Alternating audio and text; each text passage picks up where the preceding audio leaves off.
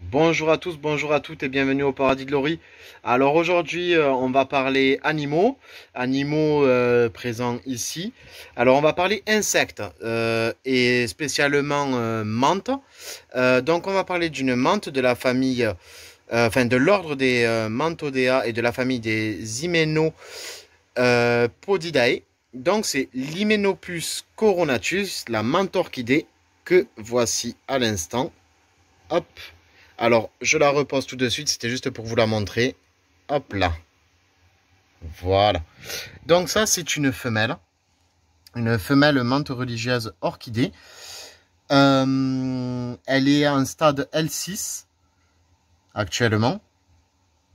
Euh, il faut savoir que euh, pour atteindre la maturité sexuelle, la femelle va aller jusqu'au stade L7 et le mâle jusqu'au stade L5. Alors, euh, qu'est-ce que L5, L7, euh, L quelque chose? Euh, C'est tout simplement le nombre de mus qui se sont passés entre la naissance de la larve et la mue pour arriver au stade adulte ou imago. donc du coup, voilà, il faut savoir que la femelle va effectuer deux mus de plus que le mâle chez cette espèce-là. et on va y revenir, on va y revenir dans dans pas longtemps. Euh, donc, euh, température d'élevage en moyenne entre 25 et, 28 euh, degrés. C'est très bien. sauf que, comme je vous disais, les mâles effectuent deux mus de moins. Hop, je ferme juste. Hop là, voilà. Les mâles effectuent deux mus de moins. Donc, du coup, ce qui se passe, c'est que on va en élevage éviter les températures euh, égales pour les mâles que pour les femelles. Donc, on va mettre les mâles à température environ à 24-25 degrés.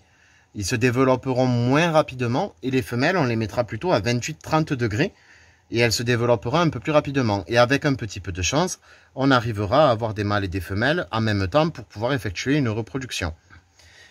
Euh, au niveau de l'arrosage, alors il faut vaporiser très très régulièrement, c'est-à-dire tous les jours, parce que euh, pas l'animal, pas l'insecte en lui-même, mais euh, c'est des animaux qui ont besoin d'humidité ambiante, d'humidité ambiante constamment pour pouvoir boire. Ils vont boire sur les parois, sur les plantes, sur sur sur tout ce qui se trouve dans dans leur terrarium.